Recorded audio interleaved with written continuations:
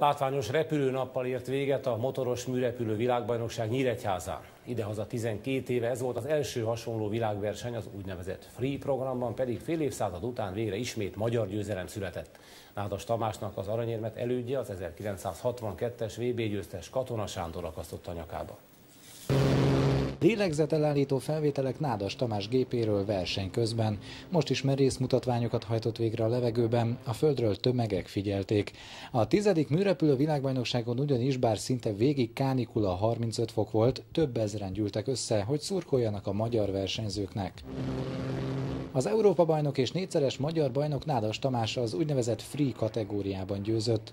Bár alacsonyan voltak a felhők és a szél is nehezítette a dolgát, tudta hozni a formáját. Hú, hát ez egy fantasztikus érzés, az, hogy Magyarországon tudtam versenyezni magyar színekben, és ezzel az overállal az, hogy egy város mögé állt, egy ország mögé, mögé állt, és érezni a szurkolást, és látni, hogy emberek jönnek és szurkolnak, egy fantasztikus érzés volt. Utoljára 50 éve Katona Sándor lett világbajnok ebben a versenyszámban. Az aranyérmet most ő akasztotta Nádas Tamás nyakába. Szerinte utódja azért is tudott nyerni, mert nagyon motivált. 20 országból összesen 81 versenyző érkezett Nyíregyházára, ahol a VB mellett repülőnapot is tartottak.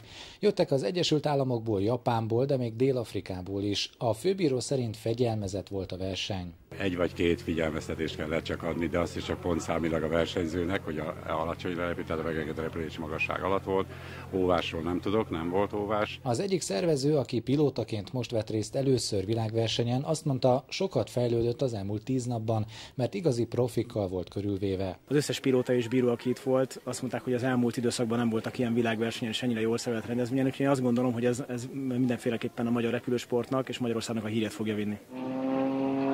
A repülőnapon Besenyei Péter műrepülő világbajnok is tartott bemutatót a nézőknek, de szintén nagy sikert aratott, amikor áthúztak az égen a Grippen harcigépek. Egyéniben egyébként orosz, csapatban pedig francia diadallal zárult a motoros műrepülő VB.